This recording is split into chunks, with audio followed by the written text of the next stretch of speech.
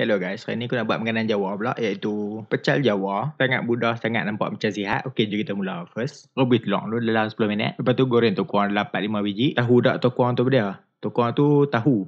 Ngarut. Okey, goreng tokuang tu sampai garing. Lepas tu goreng pula tempe dah potong. Sama juga goreng sampai crispy dan toskan. Next kita celok sayur. Sayur ni dia boleh celok dua cara. Hampa nak pakai panas dari kowe ni pun boleh. Ataupun hampa rebus ayak dalam periuk. Lepas tu buh sayur. Kat ni masak 4-5 minit bagi layu sikit jadi lah. Tokuang tu kalau nak kerak lebih cantik, hampa kerak bahagian lembut dulu. Kat tu ialah tips aku boleh bagi. Okey, next keratkan kuah dah celok dan kita buat dia punya kuah. Kuah dah susah sikit nak buat sebab tu pakai sambal pecah kilah ni. Kat pasti dia pun dia bagi cara nak buat dah. Hampa letak sambal tu lepas tu hampa letak ayak. Ikut lah kalau hampa letak ayak dulu boleh. Tapi kalau aku, aku letak mangkuk dulu. Takut sikit tumpah. Cik dah.